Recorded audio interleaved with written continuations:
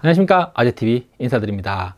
음, 오늘은 조금 음, 민감한 주제를 가지고 나왔습니다. 어, 게임 하시는 분들 입장에서는 또 이 영상을 제가 업로드하고 나면은 어, 제가 또 쌍욕을 좀 들을 수도 있고 또 안 좋게 생각하실 수도 있을 것 같아요. 근데 이 제가 얼마 전에 얼마 전에 제가 이제 비비탄 바이오 비비탄 분해 그 자연 상태에서 얼마나 분해될까.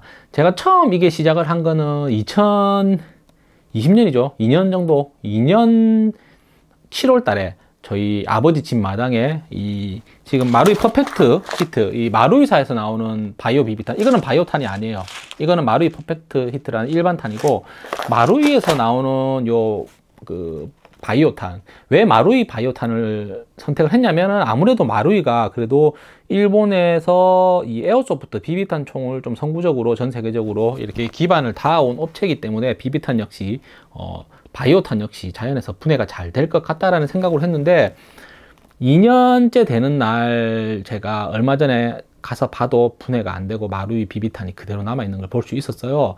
뭐 댓글에 1년 전에 찍었던 영상도 그렇고 요번에 찍었던 영상도 그렇고 댓글에서 이제 그래도 일반 이 일반적인 이런 어 일반적인 이런 비비탄보다는 바이오탄이 그래도 낫지 않냐 낫다는 말들도 많고 저도 뭐 그렇게 생각을 합니다. 근데 어 또 이 바이오탄이 정확하게 어, 얼마 정도가 지났을 때 분리가 분해가 되는지도 실제로 제가 실험을 하고 있지만 2년이 지나도 분해가 안 되는 걸로 봐서는 분해하는데 얼마나 걸릴까라는 이런 생각이 들어서 자료를 좀 찾아봤습니다. 자료를 찾아보니까 일단 마루이나 어, BLS 이 홈페이지에서는 어, 특이한 점이 이 얼마라고 안 나와 있어요. 몇 년 안에 분해가 된다라고 명시는 안 돼 있습니다. 이게 제가 곰곰이 찾아보니까 왜 그런지 알겠어요. 이, 비, 이, 그, 이 BLS 같은 경우도 그렇고 마루이 그 같은 경우도 그렇고 정확하게 성분에 대해서는 이 BLS는 성분을 표시하고 있더라고요. 생분해 어, 생분해 요새에 뭐 젖산을 열에 가열해서 나오는 그런 생분해 수지인데 요게 어 요걸로 이렇게 만드는 것 같습니다 어, 홈페이지에 그렇게 나와 있더라고요 나와 있는데 음, 이거는 보통 자연에서 6개월에서 1년이면은 자연 분해되게 되어 있습니다. 물과 이산화탄소로 어, 분리가 돼서 분해가 되게끔 되어 있어요. 이 생분해 플라스틱 기준으로 왜냐하면 이것도 생분해 플라스틱으로 만든 거기 때문에 제가 그렇게 만들어요. 얘네들 같은 경우는 뭐 옥수수라든지 사탕수수, 뭐 카사바 이런 걸로 재료를 만든다라고 합니다. 이게 문서상으로 그래 나와 있습니다. 근데 여기서 6개월에서 1년에 생분해가 돼야 돼요. 근데 저는 뿌린 지 2년이 됐습니다. 왜 분해가 안 될까? 어, 이게 생분해 되는데 어, 조건이 있습니다. 조건이 어, 최소 어, 습도가 얼마가 돼야 되고 온도가 얼마나 돼야 되고 흙이 흙과 함께 미생물이 있어야 되고 이런 기준들이 있는데 그 중에서 제 눈에 제일 띄었던 부분은 최소 온도예요. 최소 온도가 50도부터 시작을 합니다. 그러면은 50도에서 70도 되는 온도에서 어, 흙 속에 묻혀 있어야 되고 미생물에 의해서 어, 이렇게 같이 복합적으로 반응을 했을 때 6개월에서 1년이라는 말이겠죠. 자, 이거를 생각을 해보면은 만약에 그 조건을 충족하지 않는다라고 생각을 하면은 이 바이오 비비탄이 자연에서 분해가 안 될 것 같아요. 제 생각은 그렇습니다.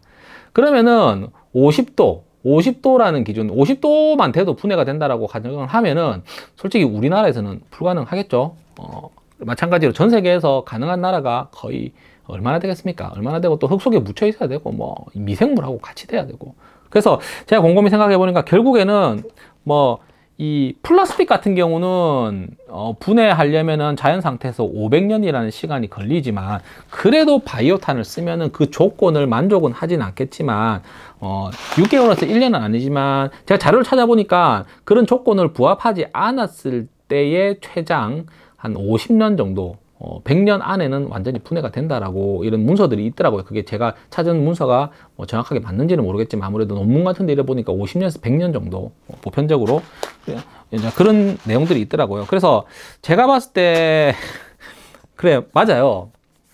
뭐 그런 말들 하죠. 바이오탄을 산속에서 뿌리면은 그게 1년, 2년 안에 썩는다라는 것 자체는 제가 봤을 때는 1, 2년 안에 절대 썩지는 않을 것 같아요. 특히 또 우리나라 산 같은 경우는 여름이라도 시원하잖아요. 그렇게 되면은 최소한 1, 20년 안에는 뭐 썩을까? 뭐라는 생각입니다. 저희 아버지가 아버지 집을 1, 20년 동안 뭐 집을 팔지 않는다라고 하면 제 뿌린 그 자리에 이거 거의 반 봉지 정도 뿌렸으니까 거기 가서 확인이 가능할 것 같아요. 아무튼 요런 좀 주제를 가지고 한번 제가 어 얘기를 하고 싶진 않았는데 한번 그래도 한번 욕먹을 각오를 하고 올립니다.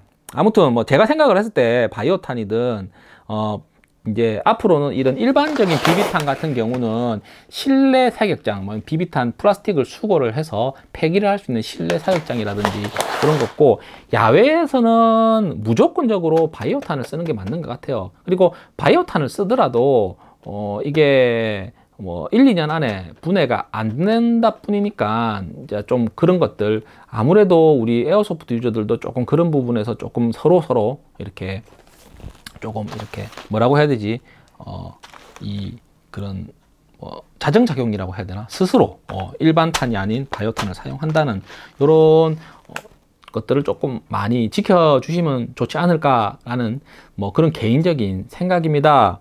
음, 저도 어, 솔직히 야외에서 바이오탄이 아닌 일반 탄을 많이 썼고 예전에 많이 썼고요. 요즘은 솔직히 야외에 나가면은 어, 일반 탄 그 산속이나 이런 데서 일반 탄을 잘 안 써요. 저희 아버지 집에서도 할 때는 무조건 바이오 탄을 쓰거든요. 근데 야외 게임장 같은 데 나가서 게임을 할 때는 보면은 서바이벌 게임장이 야외에 있는 게임장인데 일반 탄을 많이 썼죠. 근데 뭐 결국에는 그게 다 어디 가겠습니까? 땅속으로 가든지 하겠죠. 뭐 그리고 좀 조금 더 의아했던 거는 이 생분해 이 생분해 플라스틱이 얼마 전까지 우리나라에서 정식적으로 이렇게 이런 생분해 플라스틱 제품들을 인정을 해서 정부에서 독려를 했는데 이것도 웃긴 게 어, 생분해 플라스틱 비닐봉투라든지 이런 제품들을 버릴 때 어, 분리수거하는 업체가 우리 소비자들이 아무리 분리수거 하더라도 업체가 그냥 몽창 가져가서 전부 다 불에 태운다고 해요. 플라스틱이랑 똑같이. 그래서 정부에서 이거 어, 인증 절차도 그냥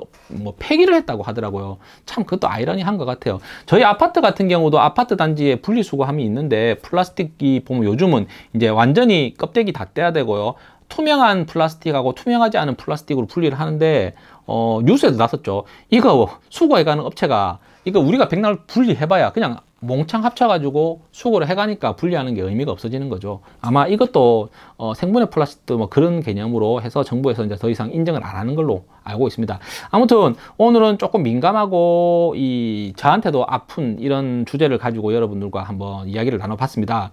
음, 앞으로 가능하면은 어, 게임을 하시는 유저분들은 유저분들께 부탁을 드리고 거는 바이오탄을 이용하자. 어, 너무 욕은 저한테 욕을 하지 마시고 우리 좋은 강산을 우리 후배들에게 물려줘야 되니까 어, 선배된 입장으로서 바이오 비비탄을 많이 사용하는 것을 장려를 했으면 좋겠습니다. 그러면은 다음 이 시간에는 정말 이런 무거운 주제가 아닌 재밌는 주제로 어, 다시 돌아오도록 하겠습니다. 제가 아마 이 영상 업로드한 이후로 한 2, 3주 정도 어, 회사 일이 엄청 바쁜 관계로 영상이 좀 뜸할 수도 있습니다. 그 점 조금 양해 부탁드리고 그러면 다음 이 시간에 또 다른 재미난 제품으로 소개하러 돌아오도록 하겠습니다.